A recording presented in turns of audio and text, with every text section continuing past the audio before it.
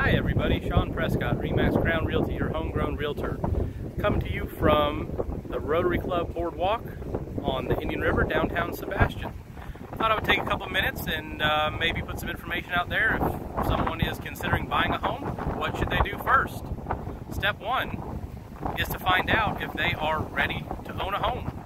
Are they okay with being the one who would be responsible for fixing things should they be broken?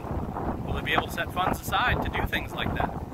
Secondly, do they have any money set aside? You don't need a whole lot of money. You can, in fact, get into a house with no money down under certain circumstances.